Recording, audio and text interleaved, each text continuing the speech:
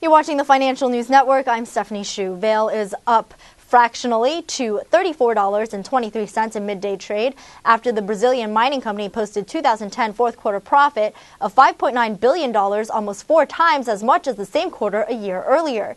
Mean analyst estimate on Market Watch was for $1.10 per share, but EPS was not released by the company. Revenue was $15.2 billion, up from 6.5 billion a year earlier.